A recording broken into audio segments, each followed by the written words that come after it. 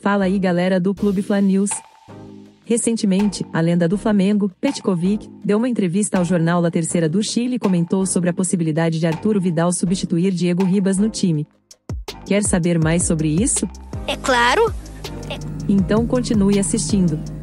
Na entrevista, Petkovic afirmou que Vidal, um jogador experiente que já passou por times como Juventus, Bayern de Munique e Barcelona, deveria exercer um papel importante no vestiário do Flamengo. Segundo ele, Vidal não precisa mostrar suas habilidades técnicas, mas sim se esforçar para ser um líder no time. Com a aposentadoria de Diego Ribas e a transferência de Diego Alves para o Celta de Vigo, Petkovic destacou que Davi Luiz, Felipe Luiz e Vidal são os jogadores mais experientes do elenco, sendo que Vidal deve ter mais minutos em campo. Porém, Petkovic alertou que, embora Vidal seja um jogador de qualidade, ele já tem 35 anos e não está mais no auge de sua forma física e técnica.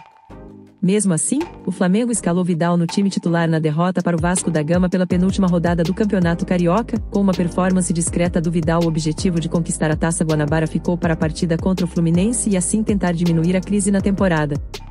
Mas antes de continuarmos, pegue essa visão. Não perca mais dinheiro com trader esportivo. Conheça o método do Pedro Feitosa e aprenda a ter ganhos consistentes.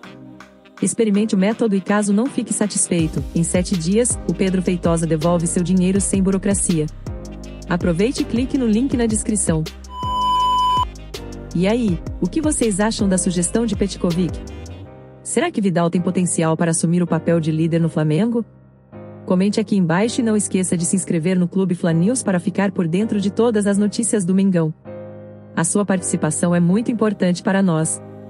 Mas isso aqui é Flamengo, saudações rubro-negras e tchau.